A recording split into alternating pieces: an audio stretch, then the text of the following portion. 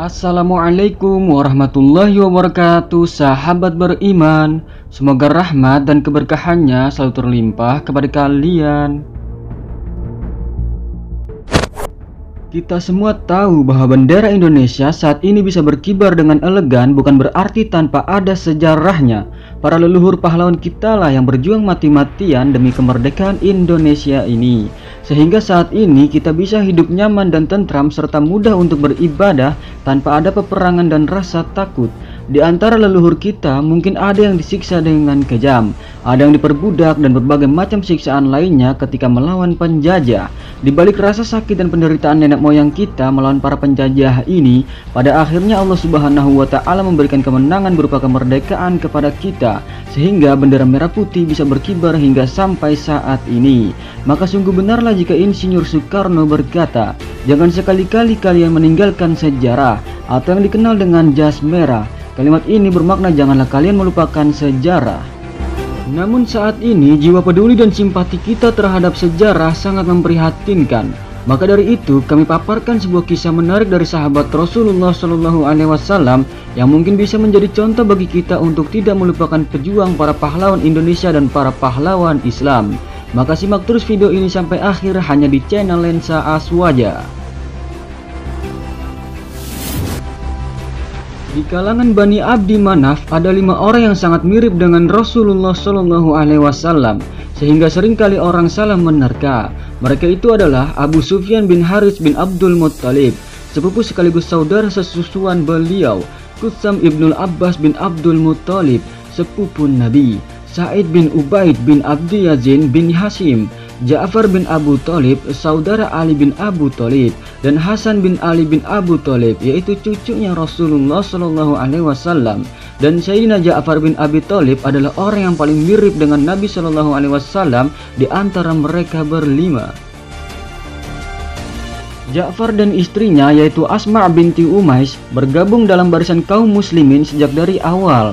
Keduanya menyatakan Islam di hadapan Sayyidina Abu Bakar As-Siddiq radhiyallahu anhu sebelum Rasulullah Shallallahu alaihi wasallam masuk ke rumah Al-Arqam. Pasangan suami istri Bani Hashim yang muda belia ini tidak luput pula dari penyiksaan kaum kafir Quraisy sebagaimana yang diderita kaum muslimin yang pertama-tama masuk Islam. Namun mereka bersabar menerima segala cobaan yang menimpanya. Namun yang merisaukan mereka berdua adalah kaum Quraisy membatasi gerakannya untuk menegakkan syiar Islam dan melarangnya untuk merasakan kenikmatan ibadah. Maka Sayyidina Ja'far bin Abu Thalib beserta istrinya memohon izin kepada Rasulullah Shallallahu Alaihi Wasallam untuk hijrah ke Habasyah bersama-sama dengan para sahabat lainnya dan Rasulullah pun mengizinkannya. Sayyidina Ja'far bin Abi Thalib pun menjadi pemimpin kaum muslimin yang berangkat ke Habasyah. Mereka merasa lega bahwa Raja Habasyah atau Najasyi adalah orang yang adil dan soleh. Di Habasyah, kaum muslimin dapat menikmati kemanisan agama yang mereka anut, bebas dari rasa cemas dan ketakutan yang mengganggu dan yang menyebabkan mereka hijrah. Sayyidina Ja'far bin Abi Thalib beserta istrinya tinggal dengan aman dan tenang dalam perlindungan Raja Najasyi yang ramah tamah itu selama 10 tahun. Dan pada tahun ke-7 Hijriah, kedua suami istri itu meninggalkan Habasyah dan hijrah ke Yastrib Madinah. Kebetulan Rasulullah Shallallahu Alaihi Wasallam baru saja pulang dari Khaybar. Beliau sangat gembira bertemu dengan Ja'far bin Abi Thalib sehingga karena kegembiraannya itu beliau berkata, Aku tidak tahu mana yang menyebabkan aku gembira, apakah karena kemenangan di Khaybar atau karena kedatangan Ja'far. Begitu pula kaum muslimin umumnya, terlebih yang fakir miskin. Mereka juga bergembira dengan kedatangan Sayyidina Ja'far bin Abi Thalib. Ia adalah sosok yang sangat penyantun dan banyak membela golongan duafa, sehingga digelari dengan Abil Masakin, yaitu bapaknya orang-orang miskin. Al-Imam Abu Hurairah radhiyallahu anhu pernah bercerita tentang Sayyidina Ja'far bin Abi Thalib. Orang yang paling baik kepada kami atau golongan orang-orang miskin ialah Ja'far bin Abu Thalib. Dia sering mengajak kami makan di rumahnya, lalu kami makan apa yang ada. Bila makanannya sudah habis, diberikannya kepada kami pancinya, lalu kami habiskan sampai dengan kerak-keraknya.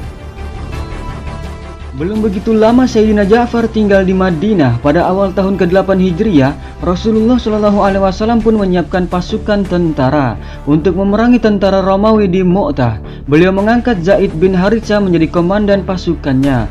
Rasulullah Shallallahu alaihi wasallam pun berpesan, jika Zaid tewas atau cedera, komandan digantikan oleh Ja'far bin Abi Thalib. Seandainya Ja'far tewas atau cedera pula, maka dia digantikan oleh Abdullah bin Rawahah dan apabila Abdullah bin Rawaha cedera atau gugur pula, hendaklah kaum muslimin memilih pemimpin atau komandan di antara mereka. Setelah pasukan sampai di Mu'tah, yaitu sebuah kota dekat Syam dalam wilayah Yordania, mereka mendapati tentara Romawi telah siap menyambut dengan kekuatan 100.000 pasukan inti yang terlatih, berpengalaman dan membawa persenjataan lengkap. Pasukan mereka juga terdiri dari 100.000 milisi Nasrani Arab dari kabilah-kabilah Lahom, Jujam, Kudoah, dan lain-lain. Sementara tentara kaum muslimin yang dipimpin oleh Sayyidina Zaid bin Harisah hanya berkekuatan 3.000 tentara saja. Begitu kedua pasukan yang tidak seimbang itu berhadap-hadapan, pertempuran segera berkobar dengan hebatnya. Sayyidina Zaid bin Harisah pun gugur sebagai syahid ketika dia dan tentaranya sedang maju menyerbu ke tengah-tengah musuh. Ketika melihat Sayyidina Zaid bin Haris jatuh, Sayyidina Ja'far bin Abi Thalib pun segera melompat dari punggung kudanya. Kemudian secepat kilat disambarnya bendera komando Rasulullah Shallallahu alaihi wasallam dari tangan Zaid bin Haris, lalu diacungkan tinggi-tinggi sebagai tanda pimpinan kini beralih kepadanya.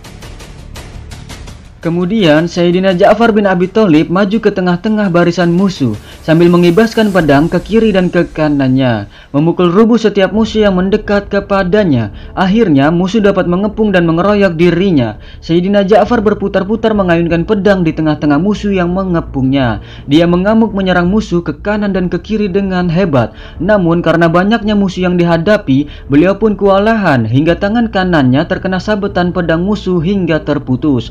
Maka dipegangnya bendera komando itu dengan tangan kirinya. Namun tangan kirinya pun putus pula terkena sabetan pedang musuh. Dia tidak gentar dan tidak putus asa. Kemudian dipeluknya bendera komando ke dadanya dengan kedua lengan yang tersisa. Namun belum beberapa lama kemudian kedua lengannya tinggal sepertiga saja dibuntungkan oleh musuhnya. Dan akhirnya Sayyidina Ja'far pun mati syahid menyusul Sayyidina Zaid bin Haris. Dan kemudian secepat kilat Sayyidina Abdullah bin Roha merebut bendera komando dari Sayyidina Ja'far bin Abi Thalib. Pemimpin kini berada di tengah Abdullah bin Roha sehingga akhirnya dia gugur pula sebagai syahid, menyusul kedua sahabat yang telah syahid lebih dahulu. Dikatakan bahwa Sayyidina Ja'far bin Abi Thalib mati syahid dengan mempertahankan bendera perang umat Islam yang diamanahkan oleh Rasulullah kepadanya dengan 70 luka tusuk beserta sabetan pedang di bagian depan tubuhnya dan dalam riwayat lain dikatakan sebanyak 90 luka di bagian depan tubuhnya dan bukan di bagian belakangnya. Ini menandakan bahwa Sayyidina Ja'far bin Abi Thalib tidak mundur sedikit pun untuk lari dari serangan musuh saat berperang dan demi mempertahankan betapa pentingnya bendera umat Islam ini dibentangkan. Rasulullah Shallallahu Alaihi Wasallam berdoa sambil meneteskan air matanya.